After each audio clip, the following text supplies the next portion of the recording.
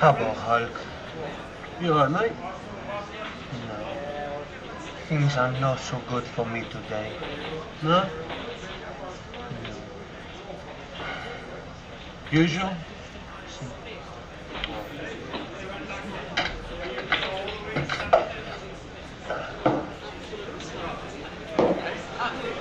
Thanks, Hulk.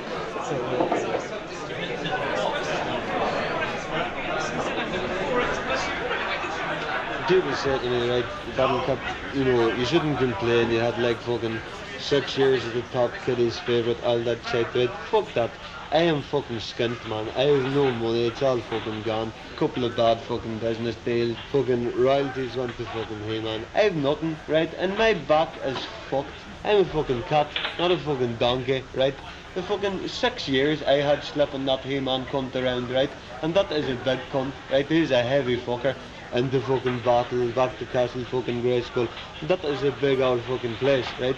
287 flights of stairs, not fucking individual steps, son. Flights of fucking stairs. 942 rooms, son. I've got back problems haven't even been fucking discovered. You know what I mean? Where does that fucking leave me? Here, fuck. It's fucking difficult for me to do any work like the shit I've trained for. I can do fucking Whiskas advert. I'd fucking rip the can to shreds, man. Do you remember fucking Ram Man, the fucking springy about happy little cunt? Right? I'm doing fucking Ladbrokes the other week, right? Putting on a fucking nice wee treble, right? And this fucking aged bounds in, leaping about like I So who's yourself, Ram Man? Said to me, oh yeah, not bad, Cringer.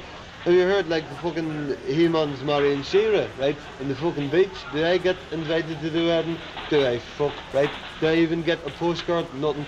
Power of fucking Grayskull, power of fucking timeshare, I like it. There's one cunt, right?